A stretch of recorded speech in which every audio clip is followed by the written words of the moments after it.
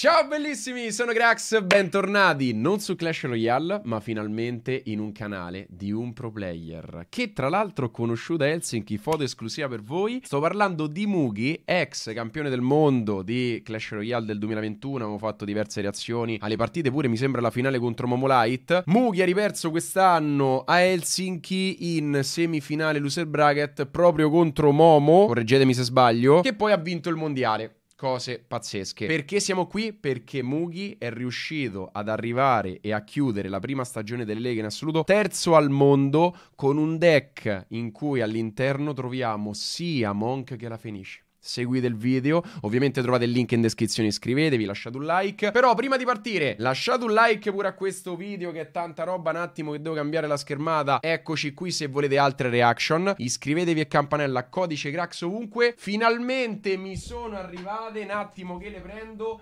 Tutte le action figure de Bro Stars me le hanno mandate, le potrò mettere nel nuovo studio. Queste sono quelle da 17 cm. Ora dove le metto? Le mettiamo da questa parte. Ho veramente tantissime. Le potete acquistare nei migliori negozi di giocattoli. Sono distribuite da Game Vision. Attenzione, perché queste qua da 11,5 si trovano anche nelle migliori edicole distribuite da Jedis. Me le hanno mandate tutte. So 5, le vedete qua dietro. Oltre a questo, ci sono anche i peluche e li abbiamo tutti e quattro. Eccoli eccoli qui tutti quanti portachiavi e anche la versione di quelle un pochino più piccoline così tascabili praticamente da 24 di cui alcune sono super rare. Di questi ci sono i pacchetti da 8 da 5 con dei brawler nascosti cercateli perché sono veramente top. Non vedo l'ora di metterli esposti seguite il Grax è tutto disponibile potete trovare tutto quanto. Si va al volo sul canale e nel video di Mugi pronti a reagire a quello che ha combinato con questo deck, un attimo che sto troppo avanti, è un deck Miner Cycle, qui ci fa vedere intanto il suo risultato, terzo al mondo, 2914 medagliette, player clamoroso, purtroppo non può farci vedere replay perché credo che con la manutenzione del cambio pass se sia buggato tutto quanto, 3.1 mi sembra una sorta di me activo torre con Fenice, Monk, non è vero perché non è la tornato, quindi non è il mio attivo torre, è un miner control. Ho alzato leggermente l'audio perché se no non si sente. Lui parte col miner, instant, sulla parte destra all'angolino così che non può essere strattonato dalla tornado. L'avversario ha una Valchiria, la torre bombardiera mi dà tanta stabilità. È una struttura che mi fa sentire al sicuro, non so se anche a voi dà lo stesso effetto. Mette Monk subito, attenzione, vediamo se lo andrà ad abilitare Instant ability. Gli scheletrini non possono fare niente. La streghetta viene praticamente buttata giù. È una carta, ragazzi. Una carta che non ha un minimo di senso. Vediamo se riutilizza l'abilità. Non credo che faccia in tempo perché l'avversario mette il bariletto per pochissimo. Eh. Poteva praticamente sradicare quasi totalmente il cannone. Si difende? No. Mette una Bombi Tower. Pensavo mettesse il minatore per colpire il cannon carta. Con la Bombi Tower colpisce il cannone. Se ferma tutto quanto, la torre riesce a colpire il cannone a distanza. Il cannone è troppo distante per colpire la torre e siamo tutti contenti. Congelino, minatore. Il Congi congela, il minatore colpisce, grosse palate sulla torre destra. È un deck un po' lento perché devi eh, costantemente fare chip damage con veleno e minatore. Mette la bombi sulla parte di sinistra. Vediamo se l'avversario ha una big spell ala terremoto che tra l'altro abbiamo visto pure all'inizio. Infatti toglie la bombi tower. Come difenderà quel gigante elettrico se prende il doppio danno solamente una scarichetta, 2004 contro il 2000 dell'avversario. Tra l'altro anche lui, pur essendo arrivato terzo al mondo, si è ritrovato resettato a Lega 1 con, credo, il moltiplicatore delle vittorie. Penso di sì, cioè il per 6. Diciamo che questo inizio è da rivedere. Vai con il Faggiano sulla parte di destra, investito, ci mette Monk sotto, pronto a respingere danni e va di ability perché così... Pensavo che i traghetti subissero danni, probabilmente non li hanno subiti perché stavano targettando la Fenice. Buona quella veleno, vediamo se parte con un minatore. Cioè, lui subisce pochissimo, ha una difesa completissima. Quello se ne va sulla parte sinistra. Messo così a sinistra, riesce comunque a prendere quella terremoto. Mette Monk 1, 2 e quello ritorna indietro e non hitterà mai. Mamma mia Monk che può essere. Mette la veleno per togliere tutti quanti gli scheletrini. Va in abilità Così da respingere pure danni su torre. Questo è un deck che si può provare ragazzi. Perché non è impossibile da utilizzare.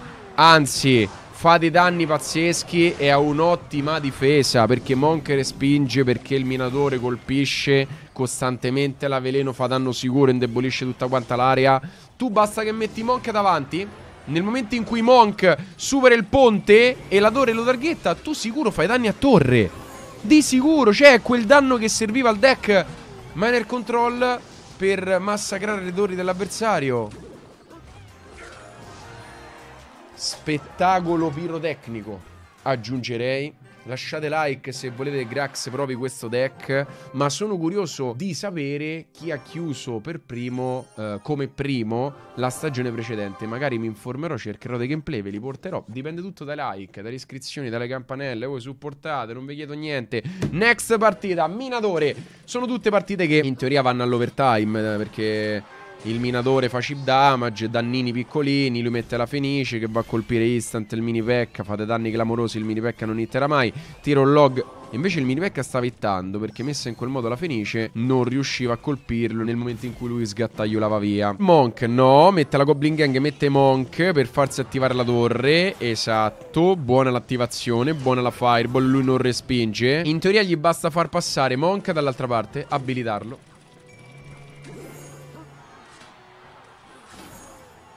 Cioè, praticamente tu risparmi una cosa come 7-8 danni della torre che potrebbe fare sul minatore. È troppo forte. Troppo forte. Poi perché lui aveva Monk quasi morto. Se fosse stato full life, come fai a fermare poi il minatore? È impossibile. È un deck troppo completo questo. Buono quello vetto. Fa tornare indietro un secondo il Gran Cavaliere. Mette la veleno, non credo l'ha selezionata, ma non penso gli convenga. Appena lui jumpa dovrà tirare il log e... Ci poteva stare pure un monchito, però giustamente c'è la torre centrale, ha preso parecchi danni. Attenzione, vuole avere Monk probabilmente full life dopo il ponte. Mettendolo contro il Gran Cavaliere avrebbe subito diversi danni. Lo piazza dal back. Ci mette non la Goblin Gang, aspetta, la mette adesso. Fenice sopra. Ora può solamente utilizzare l'abilità, respingere i colpi della pirotecnica, mettere il minatore, Fenice sotto torre. Un aratro. Ragazzi, un Panzer, non, non, lo so, indistruttibile Monk. Praticamente ti respinge il colpo della pirotecnica, uccide la pirotecnica e massacri la torre dell'avversario perché un colpo pieno. Così, due win, 5 punti per lui nel chilling più assoluto. Vediamo il terzo match, poi ci fermiamo. Il video ricordo lo trovate ovviamente in descrizione. Due partite, massacrata la Lega 1 in un secondo. Buono quel log, prende al volo il primo spaccamuro. Goblin Gang a destra non fa entrare neanche un colpo. Mugi che player. Ragazzi, Mugi che player. Però, devo essere sincero, a Helsinki Durante il Crash Fest per le finali mondiali, Momo ha dimostrato di essere un mostro sacro rispetto agli altri player. Cioè, qualcosa proprio di ineluttabile. Citando Thanos, ineluttabile Momo. Attenzione al Prince. Se prende danni, la Fenice becca. Guarda che beccate che gli tira. Ovetto. Rimane il moschettiere. Può tirare un log, lo tira a sinistra. Goblin Gang Nova di Monk. E comincerà, credo, a fare il suo gioco. Moschettiere massacrato, Monk c'ha un botto di vita. Qui conviene abilitare perché gli sgheri riprendono il danno? Certo, perché sparano il danno. Killa tutti quanti. La Bandit fa danno fisico, ma comunque viene un attimo schiaffeggiata. Goblin Gang. Buone quelle frecce. Fosse stato un capellino prima... Avrebbe fatto male eh, quella bandit. Minatore che procede da solo. Dritto su torre e su due palate. Tre palate. Easy peasy. Mi sa che non ho mai reagito ad un deck con un minatore. È una prima volta per Grax. GG per lui. Monk da dietro. Contro il Gran Cavaliere, Monk lo può letteralmente massacrare. Congelino che connette ed è chip damage per il nostro Mugi, che è molto contento di fare chip damage. Bomb Tower. Penso che gli spaccamuri vengano tolti e non subiamo danni sulla torre. Monk non lo va a abilitare. L'avversario ha fatto un bel puscetto. Gli ha fatto male, ma dovrebbe essere tutto sotto controllo perché col minatore devia. Non prende danni. C'è sta il bombone della Bombi. Utilizza la Poison. Sta difendendo anche Sam. Eh? Non sta giocando male. Va di veleno. Arriva il congelino. Il moschettiere avversario viene tolto del tutto. Bandit sulla parte di destra prova ad evitare il predict delle frecce che l'avversario non mette. Difesa avvenuta con successo.